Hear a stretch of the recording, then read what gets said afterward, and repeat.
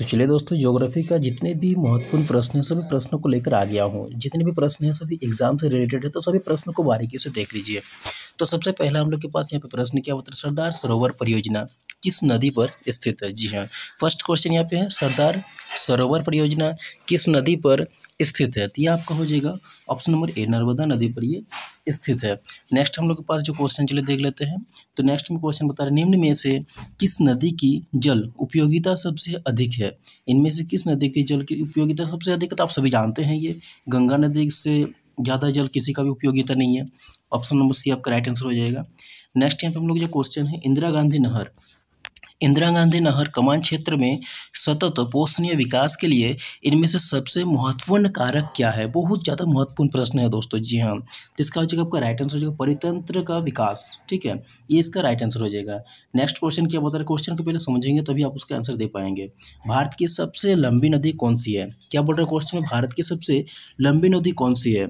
ये हो जाएगा आपका गंगा। भारत की सबसे लंबी नदी हो गई गंगा इसमें है। नेक्स्ट क्वेश्चन हम लोग के पास है, निम्न में से, जल किस प्रकार का संसाधन है? ये तो आप सभी जानते हो कि निम्न में से जल किस प्रकार का संसाधन है। तो जल एक चक्रीय संसाधन है, ठीक है? जल क्या है? चक्रीय संसाधन। आएगा, फिर खत्म होगा, फिर आएगा। इस तरीके से होता है। नेक्स्ट प्रश्न हम लोग के पास यहाँ पे है।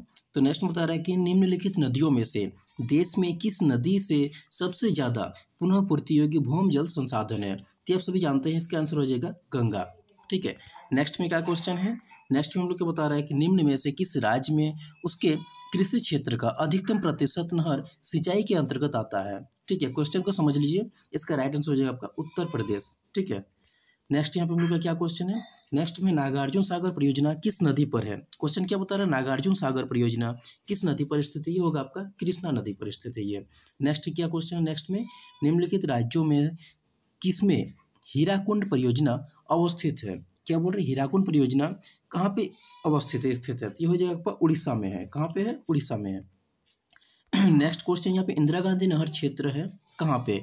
क्यों, क्या बोल रहे हैं? इंदिरा गांधी नहर क्षेत्र, ये आपका राजस्थान में। आंसर हो जाएगा आपका ऑप्शन नंबर डी ठीक है? तो नेक्स्ट क्वेश्चन क्या बता रहे हैं इसमें कि शुष्क कृषि में निम्न में से कौन सी फ़सल नहीं बोई जाती है?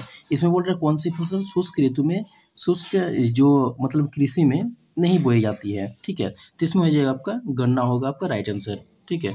नेक्स्ट में क्या बोल रहा है कि खरीफ फ़सल की कृषि ऋतु क्या है? यानी जो खरीफ फ़सल है, वो किस ऋतु में होती है, ठीक है? वो हो जाएगा आपका जून से सितंबर के बीच में। कौन सा होगा? जून से सितंबर के बीच में। नेक्स्ट यहाँ पे क्वेश्चन हम लोग के ब्राज़ील के। कॉफ़ी बागान को क्या कहा जाता है? जो ब्राज़ील के कॉफ़ी बागान है, उसको क्या कहा जाता है? उसको कहा जाता है फेजेंडा। क्या कहा जाता है? फेजेंडा, ठीक है?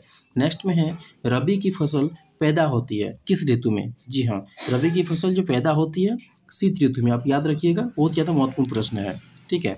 नेक्स्ट में, निम्न में से कौन से प्राथमिक क्रियाकलाप है? इसमें से कौन से प्राथमिक क्रियाकलाप है? जी हाँ क्वेश्चन को समझ लीजिए पहले। तो हो जाएगा आपका कृषि, सबसे पहला चीज़ है कृषि, प्राथमिक, यानी जो पहले चीज़ में काम करते हैं। उसके बाद नेक्स्ट हम लोग के क्या क्वेश्चन है? चलिए देखते हैं। नेक्स्ट में है, चावल, धन की खेती संबंधित है। चावल जो है, वो किससे संबंधित है? ये हो जाएगा गहन निर्वाहन कृषि से। क्या होगा? गहन निर्वाहन कृषि से। नेक्स्ट यहाँ पे हम लोग का क्वेश्चन है, किम्ब्रेले क्यों विश्व विख्यात है? ये जो किम्ब्रेले है, ये क्यों विश्व विख्यात है? ये हो जाएगा आपका चांदी के लिए। ये विख्यात क्यों है? चांदी के लिए। नेक्स्ट यहाँ पे है, निम्न में से कौन एक रेशेदार फ़सल नहीं है? तो इनमें से कौन सा एक रेशेदार फ़सल नहीं है? तो रेशेदार फ़सल हो जाएगा आपका ये कॉफ़ी कॉफ़ी आपका रेशेदार फ़सल नहीं है।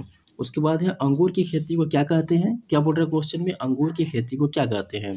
तो गिरिधरी लाल व्यास समिति, ये इसको कहा जाता है। तो ये सभी ज्योग्राफी के बहुत ही महत्वपूर्ण प्रश्न है। वीडियो कैसे लगा कमेंट कीजिए। इस तरह के वीडियोज़ का हमारे चैनल को सब्सक्राइब